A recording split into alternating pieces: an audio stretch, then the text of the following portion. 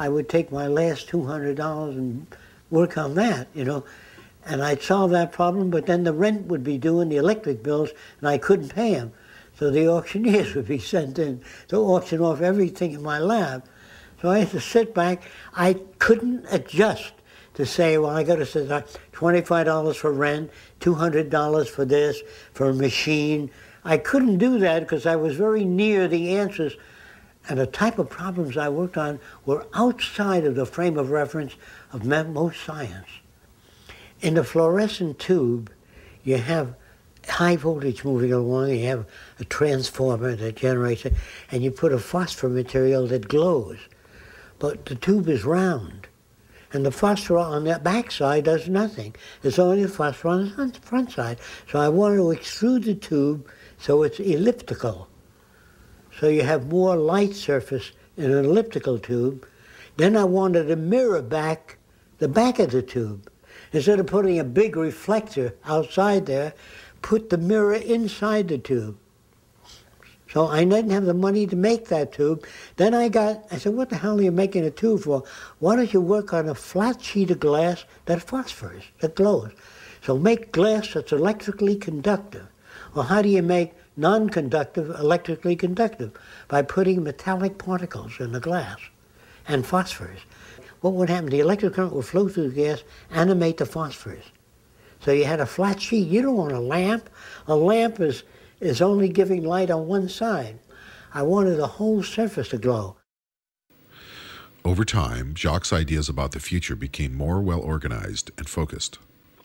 Gradually, he began to combine his technological expertise with what he had learned about human behavior, sociology, and social structure. I spent so many years improving area by area. I said, look, the whole society is aberrated, the way we do things. Why not redesign society? It'd be easier than making all these thousands of products. So you really decided to, to, to, to redesign the culture? Because I couldn't get, I, patchwork didn't work. It wasn't sufficient. So they thought I was a communist. You know, after all, the guy wanted to redesign society. What else? What is is socio-cyberneering?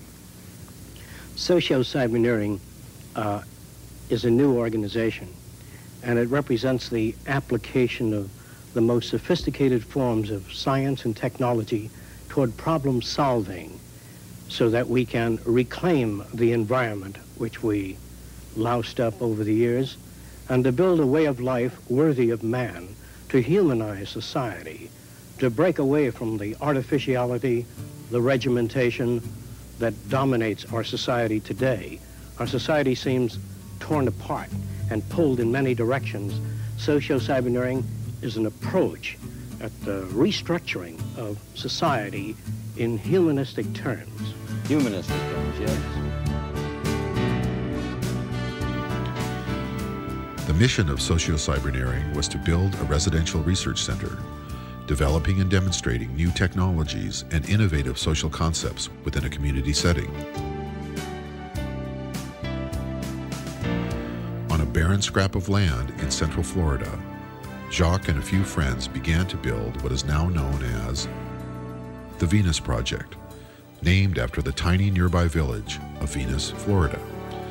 Occupying some 25 acres, 10 buildings have been constructed.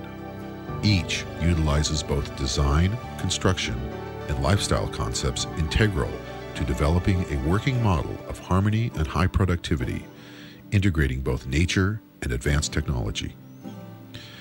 Jacque's objective of conducting a complete reassessment and redesign of our entire culture remains the central focus of his work. With the Venus Project, he has created an environment conducive to creativity and innovation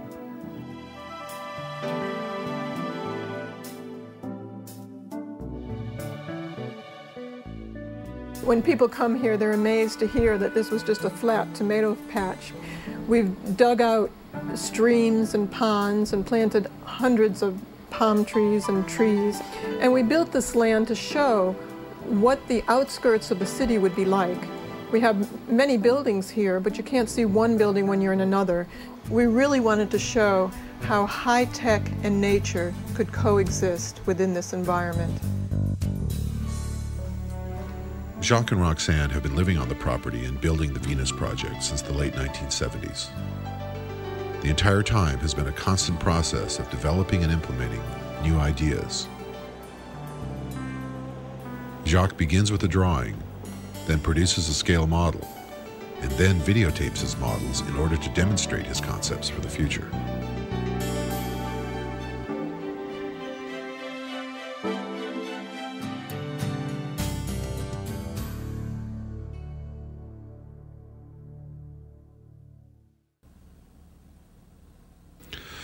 Although Venus, Florida is relatively isolated, visitors often make the journey to see the Venus Project and to meet Jacque. Joan? Joan. I'm Margaret. Hi, Margaret. I'm not going to remember your names, but anyway. I'm John. Hi, how are you? Good to see you. How are you? Yeah. Have we haven't met? Have a seat, and then we'll go on with what this is about.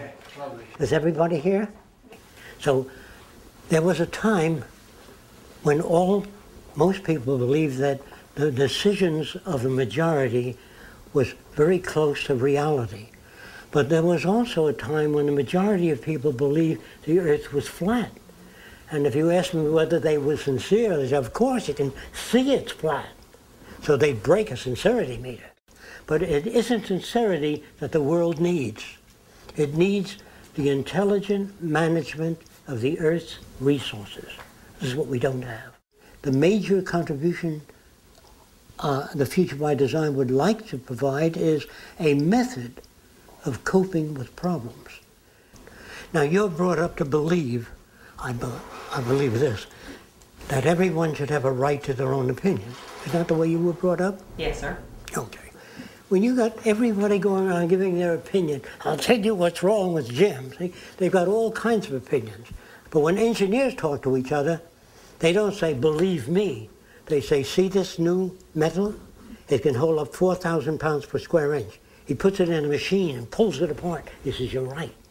So I would say the majority of the people of the world today are unsane, not insane. Unsane meaning having been exposed to methods of evaluation that are long rendered obsolete. Our language in the future will change to a saner language where we have no argument in it. They say, well, can there be such a language? There is. When engineers talk to each other, it's not subject to interpretation. They use math, they use descriptive systems. If I interpreted what another engineer said in the way I think he meant it, you couldn't build bridges, you couldn't build dams, you couldn't build power transmission lines. The language has to have meaning. That's why when a doctor writes a prescription, if he prints it, you know, it's the same all over the world. So the world I'm talking about is different. There aren't too many people that have seen everything that he's gone through in the past and come out of it with a certain direction. And the, the interesting thing is, too, that he's not a philosopher that talks about how the world should be, his point of view. He's a technician that understands how it can be built and has worked with people and understands what it takes to change them and understands what it what it was that made them that way. So it's really based on hands-on learning and not reading something in a book. You know, he went through the experiences himself and and came out with the conclusions he did did because it was based on actually learning experience and experiments. When an engineer has an idea, he talks to the computer about his idea. While they're talking about it, the integrated computerized system will take the elements that they're speaking about, convert the language into imagery, and the image will churn and be exposed to all of the people watching that exhibit and presentation. They will question the presentation, but the image system will answer the questions. How the buildings are fabricated, how water is supplied, how it handles earthquakes, or any other question. Instead of people sitting around asking an individual questions, the answers are demonstrated inside of what, what appears to be a transparent dome. So ideas are not just verbal, because when you talk,